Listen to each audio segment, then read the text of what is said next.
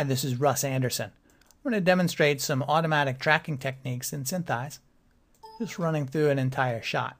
So I'm opening it up now, and it's just a helicopter flyover of Philadelphia. That's uh, from Artbeats. And I'll fire up the automatic solver, and it's going and finding some 2D features. Those are all the little marks there. They start out green, that's the 2D feature, and then they, they get solved to get a 3D location. And those are these uh, X's that you see not over in the image over there, but uh, also in the uh, 3D viewports.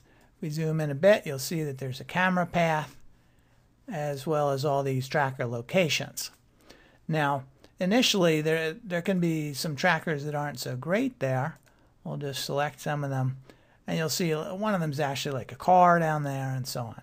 So uh, SynthEyes does have this tool to get rid of those things. Let's just run that. And now we can just do a quick resolve. And normally we go and, and take a little more careful look maybe to find things that are problematic. But here we can see that you drop the error from you know almost a pixel and a half down to uh, under four tenths of a pixel. So we, we've done pretty well here. Now you'll see that all the trackers are kind of up in the air here and at an angle. And the images themselves don't say at all where the entire scene should be positioned in the 3D environment inside of SynthEyes and ultimately inside the 3D application or compositing application that you want to use. And that's really up to you. It's an artistic decision. Now, SynthEyes does have an automatic tool for doing that, as well as it has uh, manual tools for doing it as well. And the manual tools, of course, are more accurate and let you tailor something that's specific to what you're actually trying to do. Here for illustration, we'll just click the uh, automatic button. I'll point out there is a preference that, that runs that automatically, but then we wouldn't have a chance to talk about it here. So having clicked that button, now the entire scene snaps down onto the ground plane. The helicopter is flying overhead. You'll see over here all these little uh, blue axes are the trackers that have been assigned to the ground plane.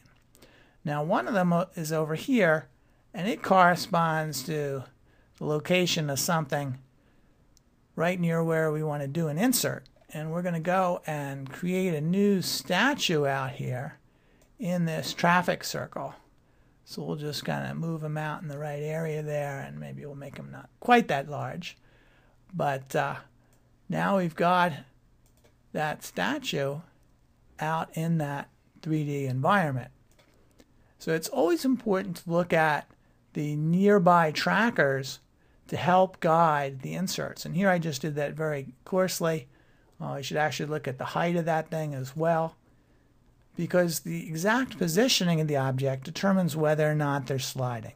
Because really what sliding is, is a positioning error by you, the user, in not locating the feature into the environment at the right location. So if the guy's up in the air or it's down below ground, it's going to look like it's sliding. You say it's sliding, but what that means is that you need to adjust the positioning and the nearby trackers tell you where you should have that object.